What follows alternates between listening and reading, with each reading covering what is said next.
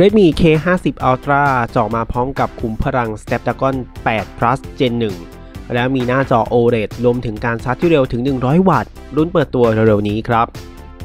Oppo A77 เปิดราคาในประเทศไทย 9,999 บาท ครบด้วยพลังการชาร์จที่เร็วถึง 33 วัตต์ Ultra Vook ชิปเซต Dimensity 810 5G และมีหน้าจอลื่นไหล Refresh Rate 90 Hz 6.56 นิ้ว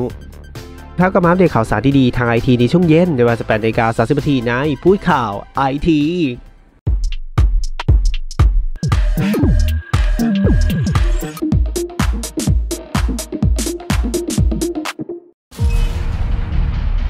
如何驾驭一部梦幻神？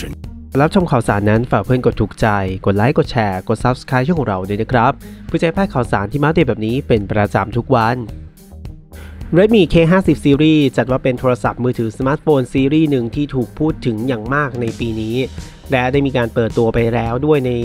ช่วงนี้ถึง 3 รุ่นครับ ได้แก่ Redmi K50 K50 Pro โดยชิปเซตที่ใช้เป็น Dimensity 9000 และ K50 Gaming Edition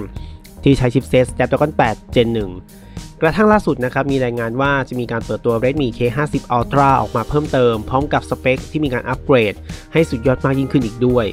Digital Trust Station แหล่งข่าวหลุดนะครับ แหล่งหนึ่งได้มีการพูดถึงโทรศัพท์มือถือ Redmi K50 Ultra ที่จะมีการเปิดตัวในช่วงหลังของปีนี้ โดยจะมาพร้อมกับชิปเซต Snapdragon 8 Plus Gen 1 มีระบบการชาร์จที่เร็วถึง 100 วัตต์ขึ้นไป หน้าจอ OLED Refresh Rate 120 Hz คอแบนนะครับ เราก็จะมีในเรื่องของความละเอียด Full HD Plus DCI Dynamic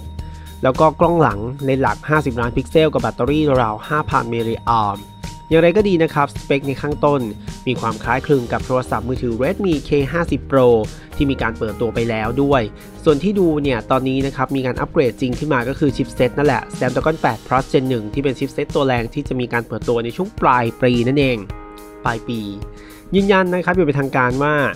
ตัวนี้เนี่ยจะอาจจะมีการเปลี่ยนแปลงในเรื่องของสเปคในภายหลังก็เป็นได้ แล้วเดี๋ยวเรามารอดูนะครับเบาะแสของความพิเศษของตัวโทรศัพท์มือถือ Redmi K50 Ultra กันอยู่ว่า รุ่นนี้จะมีอะไรน่าสนใจเพิ่มเติมเดี๋ยวไว้มาอัปเดตให้ทราบกันอีกครั้งหนึ่งครับ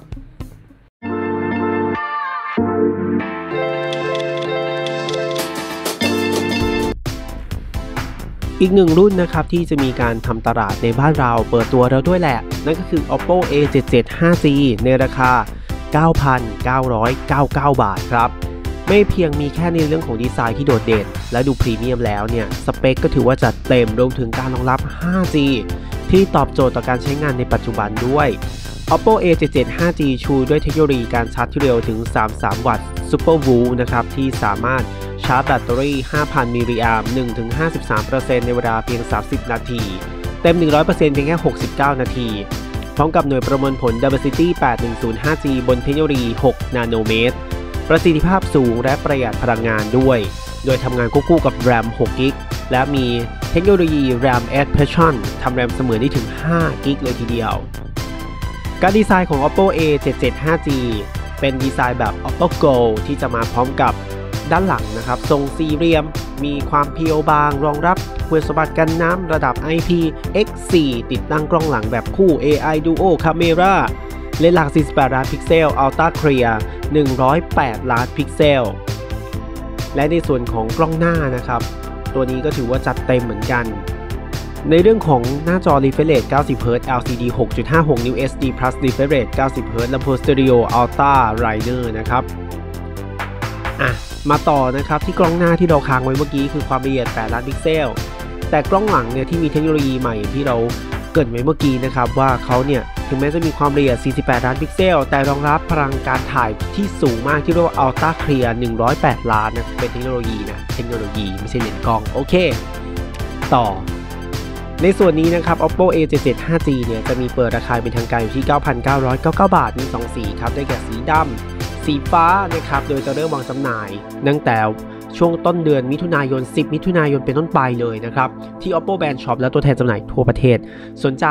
ไปลองเล่นเครื่องจริงดูก่อนที่ช็อปของเขาได้นะครับ และตัดสินใจซื้อทีหลังได้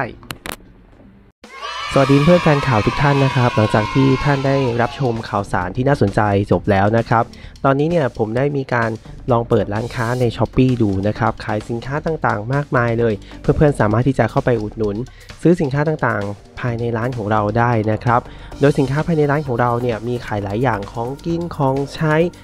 ทั่วไปเลยนะครับ สามารถเข้าไปอุดหนุนกันได้ ขนมนมเนยมีเยอะแยะเลย โดยเพื่อนๆสามารถที่จะสแกน QR code ที่เราโชว์ไว้ที่บริเวณด้านหน้าจอนะครับ หรือว่าเลือกลิงก์ร้านค้าผ่านใต้คลิปนี้ได้ด้วยเช่นเดียวกันครับ